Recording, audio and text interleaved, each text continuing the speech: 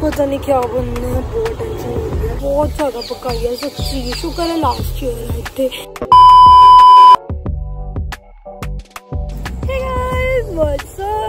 Janvi Talwar so, आज वो पल आ चुके हैं जिसका हमें कितने दिनों से इंतज़ार था। जी हाँ तो आज मैं लेने जा रही हूँ हॉस्टल अपने पापा के साथ।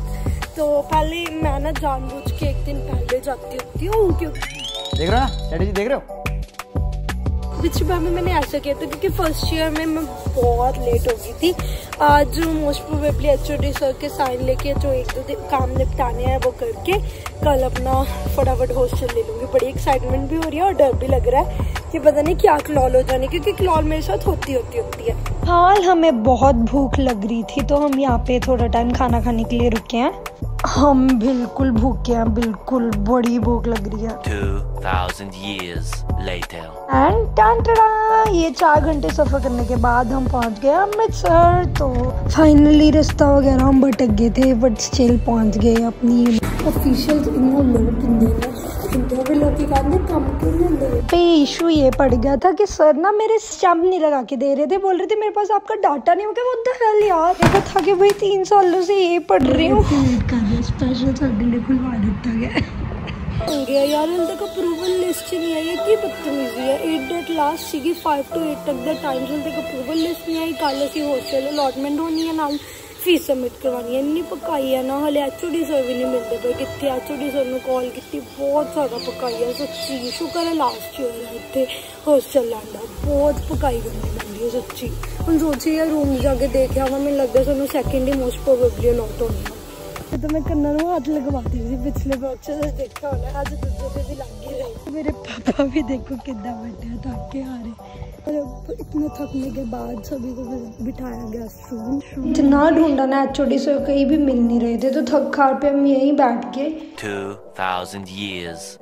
मुझे कॉलेज आई सर की कि एचओडी सर आ गए तो मैं गई फिर ये मैंने अपने भाई को थोड़ा सा नींबू पानी पिला के ठंडा करा। और हमने यूनिवर्सिटी को बोला बाय बाय क्योंकि मेरा सारा काम निपट चुका था ही। बताऊँ। नींद इतनी आई है मैं रात को दो घंटे बहुत मुश्किल से सोई नींद नहीं पूरी होती बहुत नींद आ रही है। पापा ने कार पार्क कर दिया है करने गया और हम यहाँ पे कार पार्किंग के पास खड़े हैं। रूम लेंगे पहले तो। नींद पूरी करेंगे बहुत नींद चल मैंने सारे काम अपनी यूनिवर्सिटी से निपटा लिए थे तो हम ये गोल्डन टेंपल वाली साइड आए थे तो हमने लिया ये ऑटो तो फिर गए हम अपना 好无 चार घंटे रेस्ट करने के बाद सोने के बाद हमने निकले शाम को फ्रेश होके कुछ खाने पीने के लिए। पापा बाकी दोपहर को खाना पीना थोड़ा रूम में ले आए थे तो ये हम पहले पहुँचे जलियावाला बाग। हमने अपना ये म्यूजियम्स वगैरह देखे जो जलियावाला बाग में थे। अपनी दादी को हमने बिठा दिया था क्योंकि उनसे ज़्यादा चला वगैरह नहीं जाता। तो ये हमने सोचा कि अब काम तो हो ही गया अब अपना जो घूमना फिरना वो करते हैं ये म्यूजियम्स वगैरह इंजॉय करें। हमने पूरा इनको देखा। पिछले साल ना चले वाले बाग के ऊपर एक पूरा व्लॉग दे रखा था, जिसमें ये वैल की हिस्ट्री वगैरह बताई थी। तो अगर आपने वो व्लॉग नहीं देखा तो जल्दी लाके चेक करो लिंक में डिस्क्रिप्शन में दिया हुआ है। यार, कमाल मैं इतनी बार यहाँ पे आई हूँ, मुझे ये चीज़ मैंने पहली बार देखी है कि इस साइड भी इधर गोलियों के भी निशान है। तो यहाँ पे फ्रीडम फाइटर्स की याद में पिलर्स बनाए हुए हैं, ये मैंने सारा उस व्लॉग में एक्सप्लेन किया हुआ है, ढंग से। लिंक डिस्क्रिप्शन में मैंने दे रखा है। भाई साहब अभी तक अप्रूवल लिस्ट नहीं आई पोर्टल नहीं खुला कल कितने बजे जाना है हॉस्टल क्या हो रहा है? कुछ पता नहीं चल रहा है। वहाँ से फ्री होने के बाद हम पहुँचे गोल्डन टेंपल मार्केट यहाँ पे मुझे अफवाह सुनने को मिली कि अप्रूवल लिस्ट आ गया बट नहीं आई तो मेरे को इतना दुख हुआ बाद फिर हम भगवान जी का नाम लेते हुए यहाँ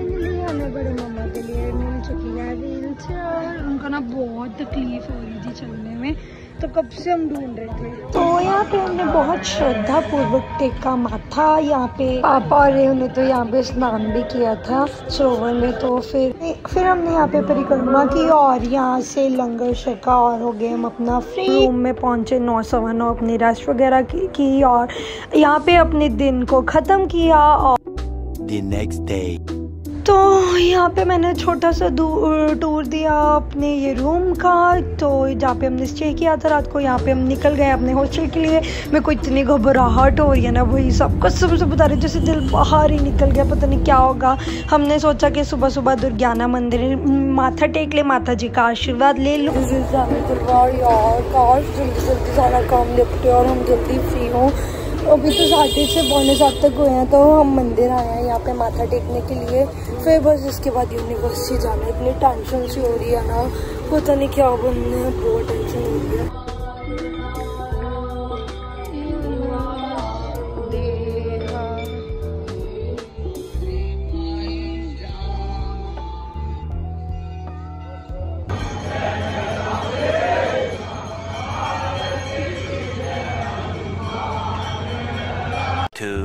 Two thousand years later. वही सब अभी नौ नौ बजे और लड़कियों ने आना शुरू भी कर दिया। और अभी तक बॉटल नहीं खोला पर लिस्ट नहीं आई कुछ भी नहीं हुआ अभी तक फ़िलहाल दिल धक धक कर रहा है बस। पता डर वैसे नहीं लग रहा था गेस्ट रूम में बैठे लोगों की तरफ़ देख रहे देख के लग रहा था कि कितनी लड़कियाँ को है कि जल्दी जल्दी जाके ले लें। फोटे बॉटल तो खुला नहीं तो मैंने सोचा सामान ले लूँ उठा लूँ गेस्ट रूम में रख लेंगे फिर उसके बाद भोग के जाके अपने काम करने हैं। रिसिप्ट वगैरह निकलवानी है। भाई लिटरली बता रही हूँ यहाँ पे रश बढ़ रहा था जैसे जैसे मेरी जान निकल रही थी इतने लोग भाई। हमें पता ही था कि हमें ये मिलेगा तो हमें वही मिला हॉस्टल जो मिलना था। और मैं बहुत सेटिस्फाई हूँ क्योंकि क्या मिल गया। सेट करना है। वैसे तो मैं अपना रूम दिखाने में बहुत ज़्यादा इंटरेस्टेड हूँ बट जानवी तलवार का रूम है ऐसे नहीं देखने को मिलेगा। फाइनली फाइनली तो क्या मन करता बन के तितली दिल उड़ा उड़ा। लास्ट टाइम जब मेरे को ग्राउंड फ्लोर मिला था मेरे को चाहिए था इतनी खुशी थी। इस बार भी मेरे को दो रूम चाहिए थे टचवुड मिल गया रोल नंबर उससे भी कम भाई साफ़ so ओ ये था मेरा हॉस्टल ब्लॉग गाइस अब सफलतापूर्वक हॉस्टल लेने के बाद मैं खुशी खुशी वापस जा रही हूँ अपने घर। ये बेचारे ना मेरे पीछे सुबह से गेस्ट रूम में बैठे थे और थक चुके बेचारे लेटे हुए आराम से। तो यहाँ पे मैं अपने ही वाइब कर रही हूँ करण औजले के गानों पे। यहाँ पे मैं इतनी खुश हूँ ना कि जो मेरे पे महीने भर का बोझ था वो मेरे से उतर चुका है। और thank you so much for watching अपना प्यार बनाए रखिए।